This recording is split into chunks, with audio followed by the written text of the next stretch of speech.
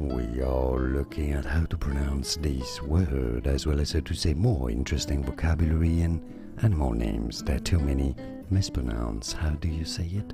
Skunk. Skunk. Easy once you know skunk. And now you know.